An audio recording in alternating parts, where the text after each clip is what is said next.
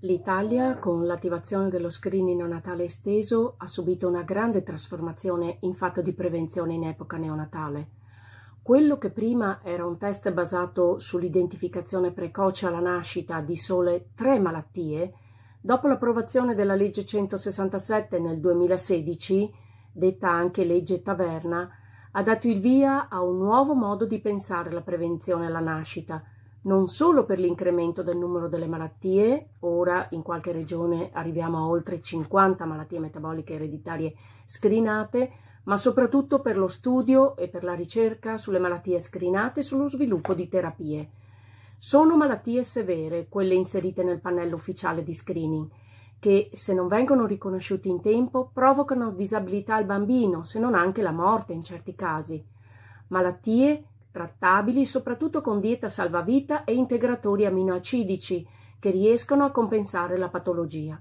Questi neonati possono avere un futuro quasi del tutto normale, cosa che prima dello screening molto spesso non era possibile. Un grande diritto di salute quindi per il neonato. Ma c'è un ma.